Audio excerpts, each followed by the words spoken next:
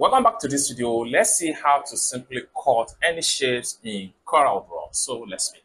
But before we dive into the tutorial, if you find this tutorial useful and you are very new to this channel, remember click on that subscribe, turn on notification bell for more tutorial tips and tricks on how best you can use CorelDRAW. So with that being said, let's get started. All right, so welcome back to CorelDRAW workspace. Some of the shape right here, I have them draw already in my Corel workspace, such as rectangle, circle, and uh, polygon shape. Now, how do we cut this shape into any sizes, any pieces of our choice in CorelDRAW?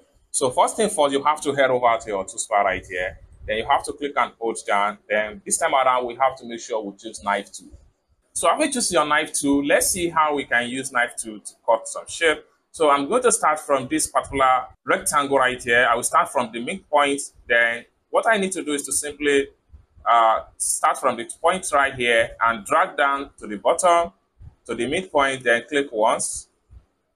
So it's going to cut automatically. So we can drag this for one side just like so. So the next thing we can do here, we can also cut this one right here into another different half shapes. So we go back to our knife tool again, then we can simply select the midpoint right here.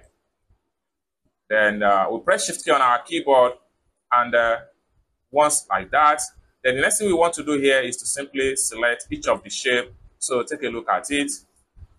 So we have successfully cut this particular shape into different part. Okay, then let's see how we can cut this particular circle. We go back to our pen tool right here and uh, we can start from the midpoint at the top right here, right here, and uh, we press shift key on our keyboard and uh, this allows us to make to maintain a straight line. Then we make sure we maintain contract.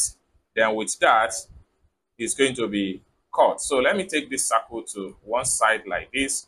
So we go back to knife tool right here then from this point here, then we make a straight line, press shift key on your keyboard and uh, click once. Then it's going to cut the circle.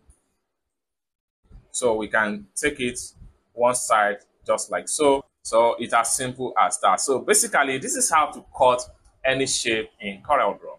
I hope you really got value for this video. If you find this video useful, give this video a big like and also remember to subscribe to the channel Turn on the notification bell for more tutorial tips and tricks about how best you can use CorelDRAW.